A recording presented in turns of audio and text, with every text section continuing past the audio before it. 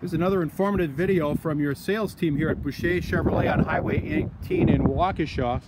Today we're featuring this 2017 Chevrolet Equinox. It's an all-wheel drive model. It's been inspected by our factory trained technicians. I can't wait to explain that certification program to you too. That comes with it. We've got 25 lenders in the event that you need an automobile loan. We can help you with that. Why don't you give me a text back, an email, or a, or a phone call. I'd love to show it to you today.